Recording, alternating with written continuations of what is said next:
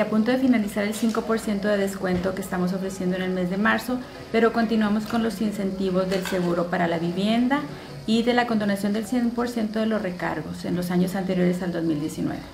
Pues tuvimos buena aceptación. En enero tuvimos una recaudación de 22 eh, millones de pesos, en febrero tuvimos 4 millones de pesos y ahorita en lo que vamos de marzo llevamos un poco más de 5 millones de pesos.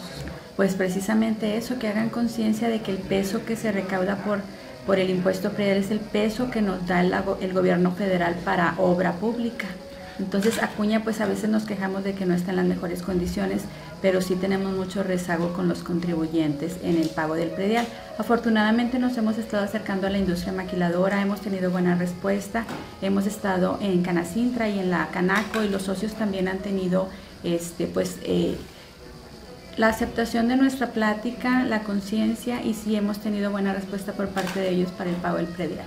Este, sí tenemos la cobertura eh, de hasta por 100 mil pesos del seguro de, vivienda.